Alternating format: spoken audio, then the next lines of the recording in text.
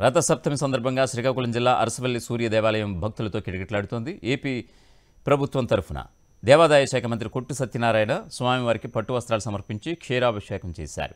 Covid పరిస్థితుల తర్వాత ఈసారి భక్తులు పూర్తి స్థాయిలో దర్శనానికి వస్తున్నారు. అరసవల్లిలో తాజా పరిస్థితిని మా ప్రతినిధి యుగంధర్ అందిస్తారు. రథసప్తమి సందర్భంగా శ్రీకాకుళం జిల్లా అరసవిల్లి సూర్యదేవాలయానికి వేలాదిగా భక్తులు పోటెత్తారు. అర్ధరాత్రి పన్నెండు గంటల నుండి క్షీరాభిషేకానికి భక్తుల్ని అనుమతించారు. ఉదయం ఆరు గంటల నుంచి ఈ రోజు అర్ధరాత్రి వరకు అంతా కూడాను నిజరూప దర్శనానికి అయితే భక్తులకి అవకాశం కల్పిస్తారు. మొత్తం గత ట్రాక్ రికార్డు తీసుకున్నట్టయితే రథసప్తమి రోజున ఎనభై వేల మంది వరకు భక్తులు స్వామివారిని దర్శించుకునే అవకాశం ఉంది. ఈ మేరకు క్యూ లైన్లను ఏర్పాట్లను కూడా చేశారు. క్యూ లైన్లో ఎక్కడికక్కడ మంచినీళ్ళ సదుపాయం ఇచ్చారు. అదేవిధంగా చిన్నపిల్లలకు పాలను కూడా ఉచితంగా దేవాదాయ శాఖ అధికారులు అందజేస్తున్నటువంటి పరిస్థితి ఉంటుంది.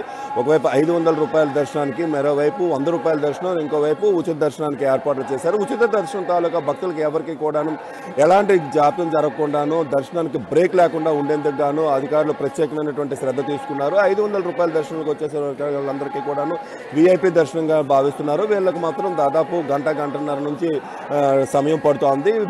అదేవిధంగా సర్వదర్శనానికి వచ్చినటువంటి వాళ్ళకి మూడు గంటల సమయం పడుతుంది. మొత్తం మీద చూసుకున్నట్టయితే ఈరోజు గత దర్శనాలకు సంబంధించినటువంటి ఆ ఏవైతే అనుభవాలు ఉన్నాయో చేదు అనుభవాలు వాటిని అన్నింటినీ కూడా అధిగమించి ఈసారి అయితే మాత్రం చాలా ప్రశాంతంగా క్యూ లైన్ నిర్వహణ అయితే మాత్రం మొత్తం క్రౌడ్ మేనేజ్మెంట్ అయితే మాత్రం చాలా పకడ్బందీగా ఉంది. పోలీసుల విషయంలో కూడా తీసుకున్నట్టయితే పోలీసులు కూడా ఎక్కడికక్కడ మఫ్టీలో ఉండి భక్తులకు సహకరిస్తున్నటువంటి పరిస్థితి అయితే కనిపిస్తుంది.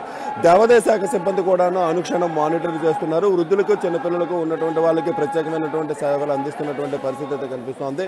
తెల్లవారుదైతే మాత్రం దేవాదాయ శాఖ మంత్రి కొట్టు సత్యనారాయణ స్వామివారిని దర్శించుకున్నారు. అదేవిధంగా దేవాదాయ శాఖ కమిషనర్ జవహర్లాల్ కూడా స్వామివారిని దర్శించుకొని పట్టు వస్త్రాలు సమర్పించి తొలి క్షీరాభిషేకం చేయడంతో ఈరోజు రథసప్తమి ఏర్పాట్ల దర్శనాలు అయితే ప్రారంభమైనట్టుగా చెప్పుకోదు వాటర్ హైదరాబాద్ స్టూడియో.